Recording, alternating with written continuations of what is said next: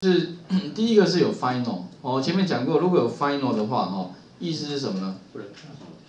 就是常数嘛，哦，所以这个这个里面的值永远就是，如果你赋予它一次之后，之后不能再动了，十就十了，以后不能再更改里面的值，因为它有关键是 final，所以 v two 的话基本上就是十嘛，哈，那最后我们这边取得值后面加上 c 点 value，c 点 value 的话，因为 value 的这个方法是由这个内层的类别去实做，那这个类别的方法里面有包含什么呢？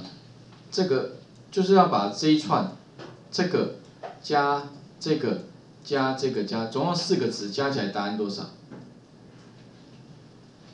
基本上哦，这会比较比较不好理。第一个当然我们已经知道这个值在这里，对不对？然后的话呢，my value 二点 this 点 v 的在哪里？就 my value 了，对不对？哈，点 this 就指的是它。对，所以这边会丢过来是这里，然后 this。